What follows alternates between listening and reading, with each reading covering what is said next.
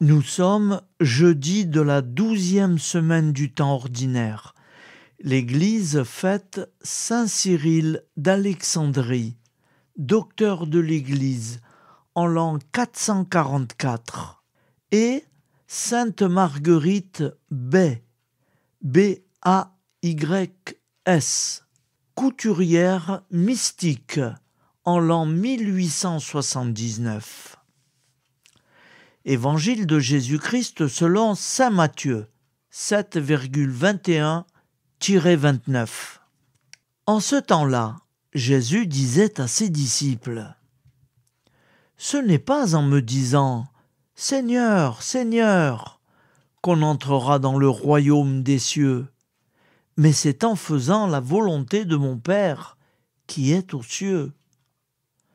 Ce jour-là, beaucoup me diront Seigneur, Seigneur, n'est-ce pas en ton nom que nous avons prophétisé, en ton nom que nous avons expulsé les démons, que nous avons fait beaucoup de miracles? Alors je leur déclarai, Je ne vous ai jamais connu. Écartez-vous de moi, vous qui commettez le mal. Ainsi, celui qui entend les paroles que je dis là et les en pratique est comparable à un homme prévoyant qui a construit sa maison sur le roc. La pluie est tombée, les torrents ont dévalé, les vents ont soufflé et se sont abattus sur cette maison.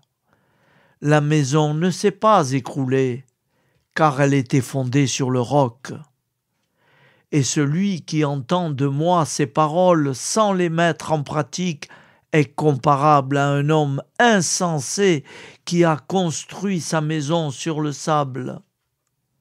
La pluie est tombée, les torrents ont dévalé, les vents ont soufflé, ils sont venus battre cette maison.